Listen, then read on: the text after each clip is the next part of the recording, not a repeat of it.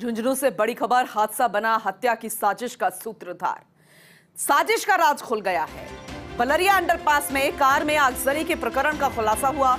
जलने वाली कार में फौजी विकास भास्कर नहीं था। ये बड़ी खबर। महेश मेघवाल नामक युवक मृतक बताया जा रहा है। पुलिस की तेरह सदस्यों की टीम ने मामले की गहनता से जाँच की। आरोपी विकास भास्कर बदहवास स्थिति में घर पहुँचा, जहाँ से पुलिस ने आरोपी को हिरासत में ले लिया है। वारदात का पश्चाताप, पकड़े जाने के डर से विकास फौजी की हालत बिगड़ गई। गंभीर स्थिति में फौजी विकास को बीडी के अस्पताल में भर्ती कराया गया। वहीं गंभीर स्थिति में आईसीयू में फ़िलहाल विकास भास्कर का इलाज चल रहा है। मुकंदगढ़ थाना क्षेत्र में होली की रात कार में आगजनी की घटना हुई थी, लेकिन अब इस पूरे मामले का खुलासा हो रहा है। जो साजिश रची गई थी, उसका खुलासा हो गया है। बेहद गंभीर मसला सामने आया है, लेकिन जो आरोपी है, उसकी खुद की हालत बिगड़ी हुई है।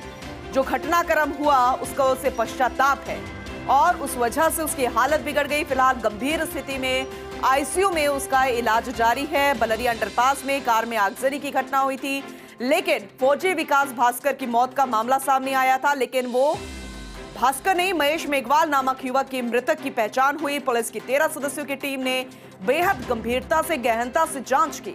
आरोपी विकास भास्कर बदहवास स्थिति में खुद अपने घर पहुँचा। आरोपी को फ़िलहाल हिरासत में ले लिया गया, लेकिन स्थिति उसकी सही नहीं थी। गंभीर हालत में उसे आईसीयू में भर्ती किया गया है। झुंझुनू से सहयोगी प्रदीप हमारे साथ जुड़ चुके हैं। ज़्यादा जानकारी उनसे लेंगे। प्रदीप, वाकई में बेहद गंभीर मसला है।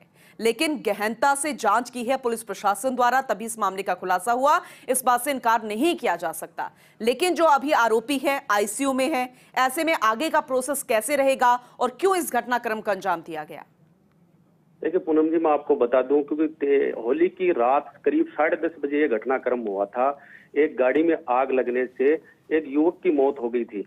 दूसरे दिन युवक की पहचान विकास भास्कर फौजी के रूप में हुई। उसके परिजनों ने उनका दाह संस्कार कर दिया। लेकिन दो दिन बाद में उस गाड़ी में एक मोबाइल मिला जो एक मेघवाल परिवार के लड़के का था, जो उनके यहाँ मजदूरी करता था।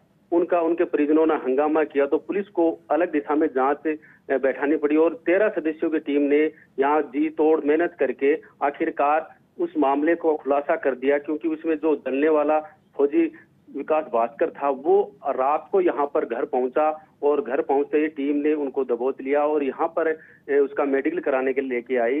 तो यह भागदौड़ और पश्चाताप की वजह से ये गंभीर हालत में बीडी के अस्पताल में इसका इलाज चल रहा है। लेकिन सबसे बड़ी हम्म। बात यह है जिस युवक का दाह संस्कार विकास फौजी के परिजनों ने कर दिया वो यहाँ गलफत गलफत बन गई।